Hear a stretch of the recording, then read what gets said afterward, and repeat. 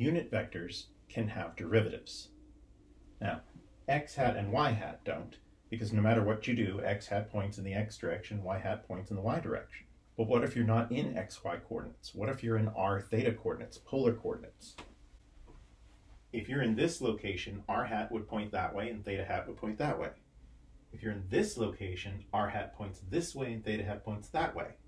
If you're up here, r hat points this way, theta hat points that way. They're changing. They depend on theta. They don't depend on r though, because if you simply slide further out from the origin, r hat and theta hat don't change. They're just moved, but they didn't rotate. We can talk about the partial derivatives of r hat and theta hat with respect to r and with respect to theta. And as I just said, they don't change when you change r, but they do change when you change theta. It turns out that the partial of r hat with respect to theta is theta hat.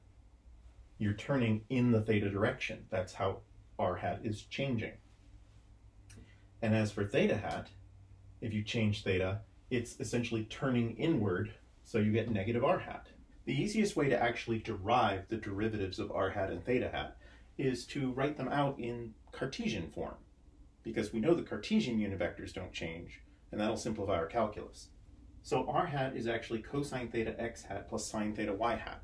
So if you take the derivative of r hat with respect to theta, you get negative sine theta, that's the derivative of cosine, x hat doesn't change, that was the point of using Cartesian, and sine becomes cosine. But that's exactly theta hat, so this is theta hat. Meanwhile, if you take the derivative of theta hat with respect to theta, derivative of sine is cosine, the derivative of cosine is negative sine, and you can see that that is the opposite of r hat. And there's your instant proof that the derivative of r hat with respect to theta is theta hat, and the derivative of theta hat with respect to theta is negative r hat. And you need those because if you're trying to take the derivative of, say, r r hat, that's actually a product rule. In Cartesian coordinates, it wouldn't be. You'd just pull out the x hat and just go ahead and find the derivative of r and you'd be done. The derivative of that would be dr dt times r hat plus r dr hat dt. This itself, we were talking about changes with respect to theta. If we're talking about changes with respect to time, we need another chain rule. So dr hat dt is really dr hat d theta, d theta dt. dr hat d theta can be theta hat, which means if we use dot for time derivative, dr dt would be r dot, r hat plus r, and then dr hat dt would actually be theta dot, or omega, theta hat. That is velocity in polar coordinates.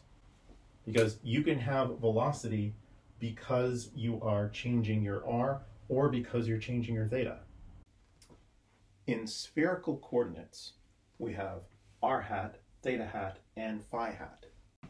For reference, here are the unit vectors for spherical coordinates written out in Cartesian components. It's a right-handed coordinate system, so red, green, blue. Red is that way, green is that way, so blue is in fact into the board as I have drawn. If you change the value of r, then none of these change orientation. So the partial derivatives with respect to r are all zero. If you change theta, you're moving like this. So the r and the theta hat change, but the phi is still into the board, so the partial phi with respect to theta is zero. When you start swinging around, that's when you start getting all three of them changing. And so with respect to phi, all three of them have non-zero derivatives. If you write out the conversion from spherical coordinates to Cartesian coordinates and take the derivatives, then you can see that these relations are true. It works the same way it works for polar coordinates.